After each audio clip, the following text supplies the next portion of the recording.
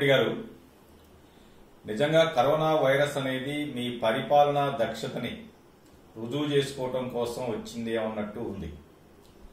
ఒక పక్కన ప్రపంచమంతా కరోనా వలన విలవెల్లాడుతుంటే మీరేమో దాన్ని చాలా చులకనగా కరోనా గురించి మాట్లాడటం ప్రజల్లోకి ఒక రకమైనటువంటి ఒక నెగిటివ్ వేవ్స్ మీరు బయటికి పంపిస్తున్నట్టు అనిపిస్తుంది.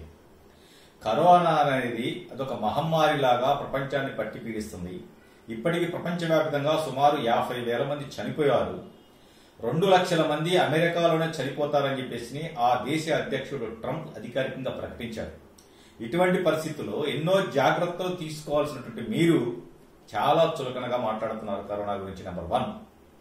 నెంబర్ టూ మీ పరిపాలన వైఫల్యాన్ని కప్పిపుచ్చుకునే దానికోసం ఇవాళ మీ మంత్రులతోని లేదు మీ సలహాదారులతోని ప్రతిపక్షం మీద ఈ సందర్భంగా రాజకీయ దాడి చేయటం అనేది నిజంగా ఎంత దౌర్భాగ్యం అంటే ఇంతకంటే దుర్మార్గం దౌర్భాగ్యం కోట్లేదు మీ బేలతనం అనేది చాలా స్పష్టంగా అవపడుతుంది చంద్రబాబు నాయుడు గారు చాలా చక్కటి సలహాలు సంప్రదింపులు ఇస్తున్నారు తప్ప ఎక్కడా కూడా ఒక రాజకీయ విమర్శ చేయకుండా ఆయన ఒక పద్ధతి ప్రకారం ఈగో ఈ విధంగా చేసుకుని దీన్ని కట్టడి చేయకపోతే భారీ మూల్యం చెల్లించుకోవాల్సి వస్తుంది.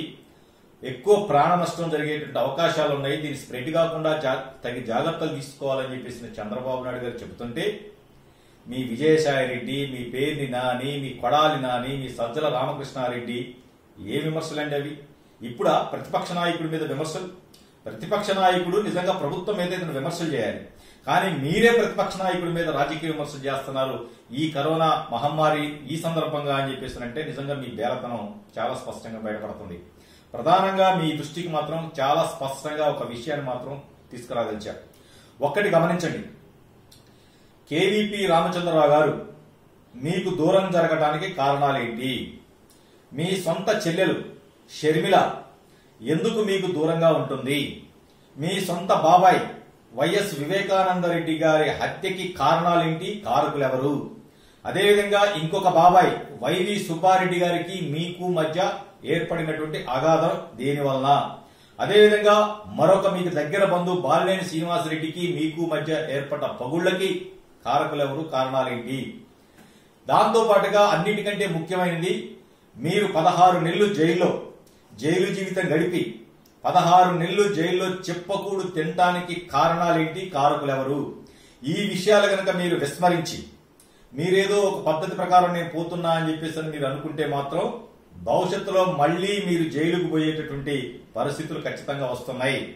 మీ చుట్టూ ఉన్నటువంటి మీ విజయసాయిరెడ్డి మీ సజ్జల రామకృష్ణారెడ్డి మీ వెనక గోతులు తవ్వుతున్నారన్న విషయాన్ని మీరు ఎందుకు మర్చిపోతున్నారు? చాలా దుర్మార్గంగా. ప్రశాంత్ కిషోర్ ఏ విధంగా అయితే మిమ్మల్ని అధికారంలో తీసుకురావడం కోసం ప్రతిపక్షం మీద ఏ రకమైనటువంటి ఒక విషాన్ని చిమ్మాడో ఇవాళ మీ పక్కన ఉన్నటువంటి సజ్జల రామకృష్ణారెడ్డి విజయసాయిరెడ్డి ఆ రకమైనటువంటి విషాన్ని మీ ఎడల చిముతున్నారు మీ మీద ప్రజలు ఒక రకమైనటువంటి దురాభిప్రాయం కలిగేటటువంటి ప్రభుత్వం మీద మీ మీద ఒక దురాభిప్రాయం కలిగేటటువంటి ఒక ప్రణాళికాబద్ధమైనటువంటి వాళ్ళు వ్యవహారం చూస్తున్నారు.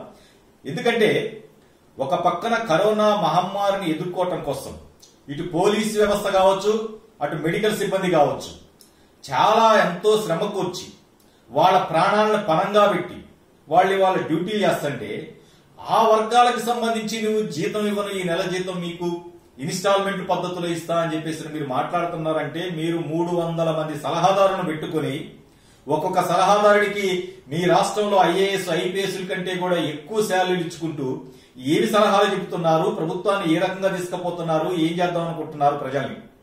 ఇవాళ తెలంగాణలో నలభై పాజిటివ్ కేసులు ఉన్నప్పుడు ఆంధ్రప్రదేశ్లో మూడు పాజిటివ్ కేసులు కూడా లేవు. కానీ ఇవాళ తెలంగాణ దాటి మీరు ముందుకెళ్ళిపోతున్నారు. కారణం మీ వైఫల్యం. ఖచ్చితంగా మీ వైఫల్యం. అదే చంద్రబాబు నాయుడు గారు చెప్పారు జాగ్రత్తలు తీసుకోకపోతే చాలా పెద్ద మూల్యాన్ని చెల్లించుకోవాల్సి వస్తుందని చెప్పేసి చాలా స్పష్టంగా చంద్రబాబు నాయుడు గారు చెప్తున్నారు. కానీ మీరు అవేవి చెవికెక్కించుకోవటం లేదు. మీరు ఒంటెద్దు పోకడలు పోతున్నారు మీ సలహాదారులు మిమ్మల్ని ఎవరైతే ముంచాలనుకుంటున్నారో వాళ్ళ మాటలు నమ్ముతున్నారు. ప్రభుత్వ అధికారుల్ని పరిగణలోకి తీసుకోవట్లేదు. వివిధ రాజకీయ పార్టీలను పరిగణలోకి తీసుకోవట్లేదు. కేవలం మీ సలహాదారుల మీద ఆధారపడి మీరు పరిపాలన చేయాలనుకుంటున్నారు. ఖచ్చితంగా గడ్డు రోజులు రాబోతున్నాయి. ఇంకొక ఉదాహరణ కూడా మీకు చాలా స్పష్టంగా చెప్పదలుచుకున్నా. అమిత్ షాతోని మోడీతోని అత్యంత సన్నిహిత సంబంధాలు నెలుపుతూ ఎప్పటికప్పటికి మీ గురించి ఇక్కడ ఉన్నటువంటి లోటుపాట్లు మొత్తాన్ని కూడా కేంద్రం దృష్టికి తీసుకుపోయి ఏదో ఒక రోజు తమిళనాడులో గనక శశికళని జైల్లో వేసి పళనిస్వామిని ఏ విధంగా అయితే ముఖ్యమంత్రి పీఠం మీద కూర్చోబెట్టారో ఖచ్చితంగా విజయసాయి రెడ్డి కేంద్రంతో కుమ్మక్కై మిమ్మల్ని జైలు పాలు చేసి మళ్ళీ తను ముఖ్యమంత్రి పీఠం మీద కూర్చునేటువంటి ఒక దుర్మార్గమైన ఆలోచన జరుగుతున్నాయి. జాగ్రత్తగా ఉండాలని చెప్పేసి మేము చెప్తున్నాం. ఎందుకంటే ప్రభుత్వం మీకు అధికారం వచ్చింది. ప్రజలు మీకు పట్టం కట్టారు. తెలుగుదేశం పార్టీగా మేము చాలా స్పష్టంగా చెప్పాం. ప్రజా తీర్పును గౌరవిస్తున్నాం. ప్రజాస్వామ్యంలో ఎవరైనా ప్రజా తీర్పును గవ- గౌరవించాల్సింది అని చెప్పి నిబద్ధత కట్టుబడి ఉన్నాం. తెలుగుదేశం పార్టీ ఓడిపోతుంది గెలుస్తుంది. గత నాలుగు సార్లు ఓడిపోయింది నాలుగు సార్లు అధికారంలో ఉన్నాం మేము. ఇరవై సంవత్సరాలు మేము ప్రభుత్వంలో ఉన్నాం అధికారంలో ఉన్నాం. కానీ ఏనాడు కూడా సలహాదారులను పెట్టుకొని ఒక సామాజిక వర్గం అనే పేరుతోనో సలహాదారులు అనే పేరుతోనో ఎవరికి దోచిపెట్టడం దాచిపెట్టుకోవటం కార్యక్రమాలు చేయలేం మేము. మేము ప్రజల సంక్షేమం కోసం పనిచేసినాం ప్రజాభివృద్ధి లక్ష్యంగా పనిచేసినాం. మాకు చేతనైనంత వరకు మాకు అధికారం ఉన్నంత కాలం ఆ రాష్ట్ర అభివృద్ధి కోసం పనిచేసినాం తప్ప ఎక్కడ కూడా వ్యక్తిగత స్వార్థం చూసుకోవాలి. కానీ మీరు అధికారంలోకి వచ్చినటువంటి ఈ సంవత్సర కాలంలో ఎందుకు ఇంత స్వార్థ బుద్ధి పెరుగుతుంది? ఎందుకు ఇప్పుడే ఏదో మేము అయిపోవాలి ఏదో చేసేసుకోవాలనేటువంటి ఆ ఆతృత మీలో ఎందుకు అవపడుతుంది? నిన్నగాక మొన్న మీ సజ్జల రామకృష్ణారెడ్డి గారు మాట్లాడుతున్నారు. చంద్రబాబు నాయుడు గారు ఖజానా మొత్తం ఖాళీ చేసి వెళ్ళిపోయారు.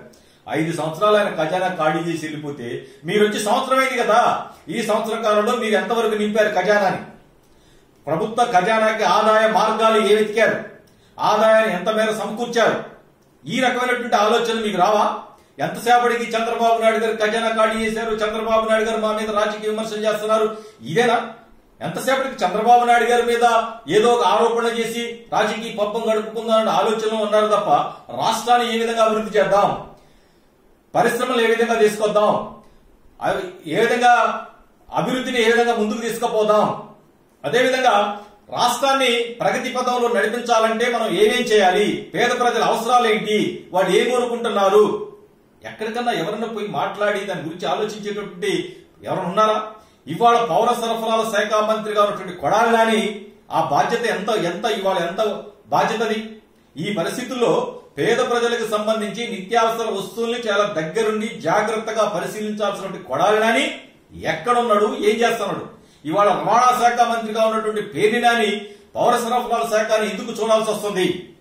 అంటే మీ మంత్రివర్గంలో ఉన్నటువంటి లోటుపాట్లు ఏంటి మీ మంత్రివర్గంలో ఉన్న అనైక్యత ఏంటి అధికారులకి మంత్రివర్గానికి మధ్య ఎందుకు బెడిసిపడుతుంది? మీ మీ శాసనసభ్యుడు మీ శాసనసభ్యుడు నిన్న ఎంత అసంతృప్తి వ్యక్తం చేశాడు? మీరు వేసినటువంటి ఈ కరోనా వైరస్కు సంబంధించి కట్టడికి సంబంధించినటువంటి కమిటీ దానికి సంబంధించిన ప్రొసీడింగ్స్ మీద ఎంత అతను ఎంత మదన పడుతున్నాడు ఎంత దారుణంగా మాట్లాడాడు ప్రభుత్వాన్ని విమర్శ చేస్తూ ఇంతవరకు నా ముప్పై సంవత్సరాల రాజకీయ జీవితంలో ఈ రకమైనటువంటి ప్రొసీడింగ్స్ చూడలేదు. అసలు ఆ కమిటీ ఏంటో ఆ కమిటీలో ఎవరు సభ్యులు వాళ్ళ బాధ్యతలు ఏంటో తెలవకుండా చేశారు మీరని చెప్పేసి మీ శాసనసభ్యుడే బహిరంగంగా విమర్శలు చేస్తుంటే ఏం చేస్తుంది ప్రభుత్వం? నిద్రపోతుందా? ఎందుకంటే దీన్ని మీరు తేలిగ్గా తీసుకుంటే భారీ మూల్యం చెల్లించుకోవాల్సిన పరిస్థితి వస్తుంది. మీరు చిన్న వయసు మీకు ఇంకా రాజకీయంగా చాలా భవిష్యత్తు ఉండాలని మేము కోరుకుంటున్నాం. కానీ ఎందుకో మీరు చాలా ఆతృత పడుతున్నారు. ఇది ఇది మాకు చివరి ఛాన్స్. ఇంతకు మించి ఛాన్స్ భవిష్యత్తులో మళ్ళీ మాకు ఆంధ్రప్రదేశ్ ప్రజలు మాకు ఇవ్వరు. అందుకని ఇప్పుడు ఉన్నంత వరకు దోచేసుకుందాం. ప్రజలు ఎటుపోయినా మాకు సంబంధం లేదు.